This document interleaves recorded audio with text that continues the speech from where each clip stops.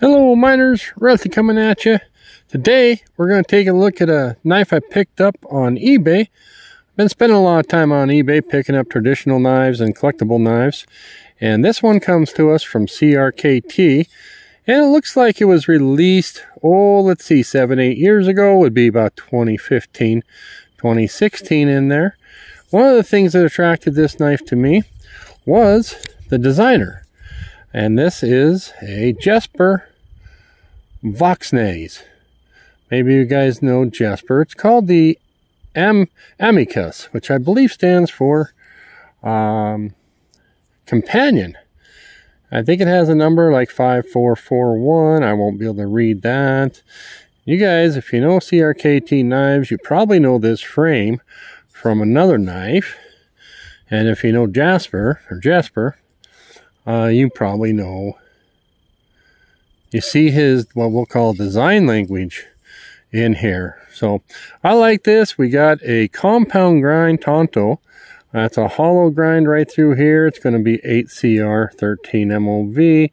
Got a flat grind right out there, which makes it a little bit thicker on that edge. Got a nice drop point, kind of a swedge coming out to that tip. And pretty good sized blade stock. So it's not going to be really extremely pointy tip, but it's going to be enough. We have some G10 in here and a lanyard that's jimped and proud and looks like a lanyard. And my lanyard, so that's one thing you don't know when you're buying them off of eBay. Uh, someone used this lanyard, I would say, as a hammer. So it's a frame lock and let's take a peek at our lock up. It's a little bit late and it's not exactly the best to get to, but it's, I've had worse. Uh, it's running on nylon washers. Let's try that again. It has a small flipper tab or little uh, thumb hole if you will but I can finger flick it with a little bit of practice and thumb wise well you just saw right there. You do need a little wrist flick. Ergos are pretty decent. Uh, I do feel the clip but the shape and the size and the lockup is solid. And I did cut a piece of cardboard and it is it went right through there. Just just really excellent. Um, I did a little touch up on the blade. This is how it came and uh, I wouldn't say it's got any hard use on it. And it actually cleans up pretty well. I think I paid about $28 on the bid. And these were selling for 30 plus dollars when they came out. And even my first CRKT knife, well maybe not my exact first, but my experience with Jesper is the Pilar. And that's the same designer. Like I said, maybe you can see uh, some similarities in the design. We've got frame lock. We've got the uh, tip down or tip up carry. This has an aluminum backspacer just like that one. And we've got the top swedge leading to the point. CRKT. This was a popular knife and they then went through the CRKT Pilar uh, Pilar and then they went with what? Maybe the three, four, or five. I don't remember what the two was. If they actually called it the Pilar two or the large Pilar. Uh, so you can kind of see this one came before this one. And to keep going, maybe you guys are familiar with the CRKT Pete.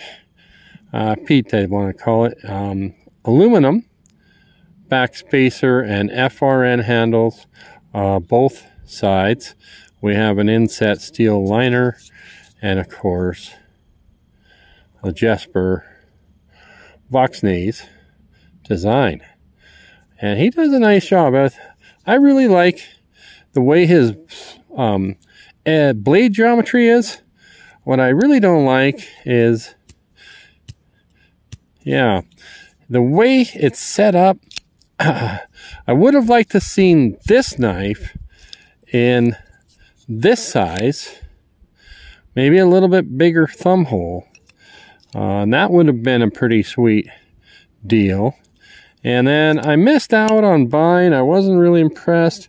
I think it's because I'm not exactly happy all the time with CRKT uh, for the simple reason of, you know, let's get a little cutout right there. Uh, you guys are seeing the action on this. Maybe that's Jesper's fault, uh, but the the nylon or Teflon uh, washers are partly good. They're going to be easy to keep clean. Uh, but for example, like this one, uh, on that one, it should have better action. Now I might take it apart. I did try to take out a screw and what I have is I need two screws, uh, two Torx screws because they once you spin one side it just rolls on the other side and geez i hate that but uh, might take it apart clean it up some see what those washers are looking like and kind of go from there. But hey guys i'm rambling. Um, this is a little bit of crkt they got the 8cr 13 mov steel. Uh, this is a Jesper Voxnaes. I think some just call them Vox Designs. And I like his knives, and they're kind of, he's done some work with um, Jens Anso. And I like his too. And Jens does a lot of GiantMouse, as does Jesper. And I think they collabed on a knife, a GiantMouse knife. But um, hey, I got another knife I'm going to bring out. What do we call it? Just for poops and giggles. Um, so this one reminds me, but this is, remember, this is about eight years old. Uh, and this would be my Spyderco. And it's just, just having that placement of that hole and the size of the hole.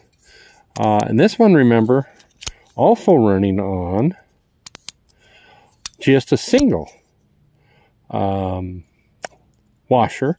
And then it runs on the FRN on one side. So I think the washer's on this side. I don't remember uh, if it's nylon or brass, but anybody who's had a Spyderco can appreciate the deployment. Yep. And to be fair, I've been deploying that one a lot more. there we go and that's what we're looking at. But you know we're talking a hundred dollars more uh, for this knife. So hey guys we're gonna wrap it up. Thanks for hanging with me